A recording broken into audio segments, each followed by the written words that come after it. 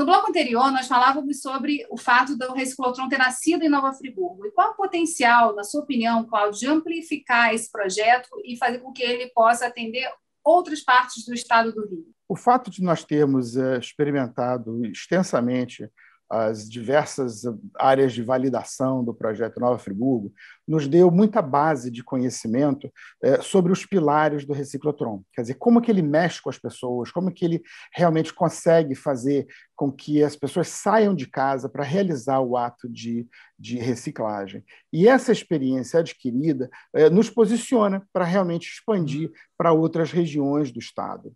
É, entende, Geisa, que é, os, as principais áreas da reciclotron, né, do, que, a gente chama desses pilares do ecossistema, são aquelas que movimentam as pessoas propriamente, né, que estimulam os consumidores a fazer essa transposição entre querer reciclar e realmente agir no ato de reciclagem. E a gente faz isso é, tocando até mesmo naquilo que a Organização é, das Nações Unidas chama do triple bottom, né, que é a, o tripé da própria sustentabilidade, que é a proteção do meio ambiente, o desenvolvimento de uma economia uh, sustentável e a inclusão das pessoas uh, em processos seguros e solidários. E o reciclotron reproduz isso uh, dentro do seu próprio ecossistema, pois quando ele estimula a presença das pessoas no ecossistema, né, na, na participação efetiva da reciclagem, ele retira produtos do meio ambiente, ah, dando claramente essa visão de que olha, você está fazendo bem ao eh, proteger o meio ambiente, evitar o impacto negativo. Ao mesmo tempo, o reciclotron ele troca esses resíduos que foram entregues por uma moeda digital. Essa moeda digital ela funciona como uma mola propulsora da própria economia sustentável, porque o usuário ele passa a ter valor por aquele produto que ele entregou, que era para ele era lixo, ele de repente descobre que tem um 14 quarto salário em casa. E ele começa a utilizar esses pontos para adquirir é, uma nova forma de consumir produtos de base orgânica, da economia sustentável. Em terceira situação, ele também promove a inclusão social de populações que estão eh, precisando realmente de um apoio solidário, porque muitos desses produtos que ele entrega, na verdade, continuam funcionando. Eles talvez só não sirvam mais para para você, para mim, que naquele momento precisou de algo mais. E essa transposição, né, ela leva produtos em boa condição, são recondicionados, são perfeitamente utilizáveis e entregues em projetos sociais, em escolas, assim como fizemos já em Nova Friburgo. Eu queria que você falasse um pouquinho sobre como, como acontece a mobilização do próprio setor que gera esses resíduos. A gente tem, uma, tem leis federais, enfim, que vão se vão descendo aí na cadeia, né, se tornando estaduais, também de logística reversa. E esse é um ponto quase que insolúvel aí do sistema, que se discute muito tempo e a gente vê pouca, é, pouca solução no campo.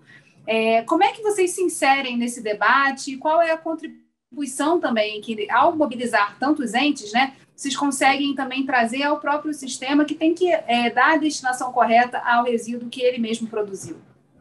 Essa é uma pergunta central na evolução do próprio ecossistema.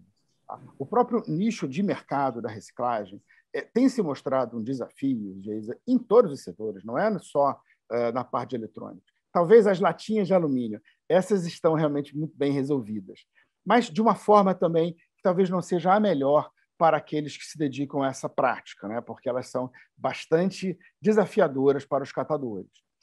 O que nós queremos pontuar aqui é que o ecossistema que a Reciclotron cria é uma, é uma maneira onde os vários entes da cadeia é, se estabelecem em torno do consumidor. O consumidor é a, a mola mestre, ele entrega o resíduo. Veja que desafio interessante. Tem a outra pessoa lá na ponta, né? a planta de reciclagem, que tem todo o maquinário, todos os equipamentos necessários. Como que essa planta dimensiona a sua produção, dimensiona a sua necessidade de equipe, de infraestrutura, equipamentos, crescimento, etc., se ela não tem certeza se vai receber o resíduo? Se ela não tem confiança de que o resíduo realmente vai estar disponível na semana que vem, no outro, no outro, no outro. Essa insegurança lá na ponta, que é a principal ponta compradora, né, a financiadora do processo inteiro, acaba afetando a cadeia inteira. Tá? o armazenador também fica inseguro, o transportador também fica inseguro e o próprio catador, que acaba tendo que se dedicar àquilo. Né? Ele cata o que tem, aonde tem, como tem, e acaba fazendo isso de uma maneira muito desarticulada, muito cara, inclusive, muito custosa para toda a rede. Resultado: quando você organiza o processo, quando você cria a base de dados, olha o que, vai acontecer. O consumidor ele informa ao sistema o que, que ele colocou e aonde. Quer dizer, quando o, a empresa de coleta, né, de logística reversa, vai lá no, no, no nossas caixas coletoras retirar esse produto, ele já sabe o que tem, Geisa. Ele já sabe quanto tem e já sabe onde está. Quer dizer, ele já sai de casa com o carrinho cheio. Ninguém cata nada. Sabe? Ele só vai lá pegar realmente. O próprio sistema já avisa. Olha, já está aqui com 70% de, de da cheio, né? melhor você programar essa rota. O sistema informa a rota aonde ele deve passar para poder ter o menor consumo de tempo, menor consumo de combustível. Quer dizer, o próprio sistema é um facilitador para que as outras operações se estabeleçam. O resultado disso, né, e é o que a gente é, percebe com discussões em, grandes grupos aí da, da indústria brasileira, é que ele vai se tornar um estímulo para a formalização dos negócios. Acontece que a gente sabe muito bem, né? a formalização ela requer é, impostos, uma série de compromissos, todos os custos administrativos. E é lógico, ela tem que ser feita, porque essa é a única maneira de ter sustentabilidade para a sociedade como um todo. Quando o sistema fica mais confiável, é, o próprio empresário começa a ter mais motivos de investir nele e acreditar que realmente vai ter retorno. Vocês estão sendo acelerados né, pelo, por um edital recente do Sebrae chamado Impacta. Como é que funciona esse programa de aceleração e quais são os benefícios e os ganhos que vocês estão tendo na estruturação desse, dessa startup? O Sebrae Impacta tem tido uma atuação muito significativa na história da Reciclotron.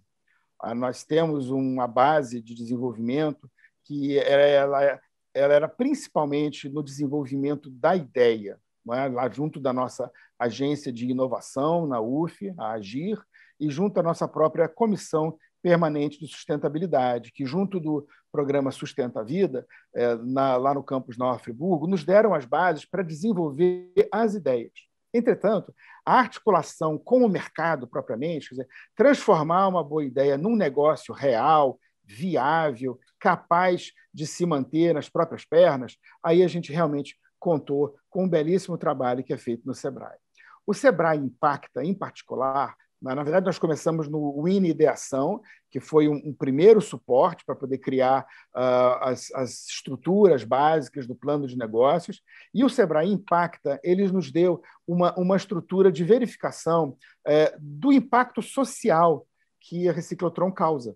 Quer dizer, não somente na questão uh, ligada a, ao faturamento, ligada a margens de lucros, que são necessárias para que o negócio se estabeleça e possa se expandir, mas ele também olha é, o resultado não financeiro, o resultado social de impacto. E aí a gente realmente tem uma quantidade de impactos que é acumulada pela Reciclotron, já que ele tem resultados tanto na área ambiental como na geração de empregos e, particularmente, nessa transformação cultural de novos hábitos para a sociedade, para adquirir uma postura mais sustentável na sua maneira de ser.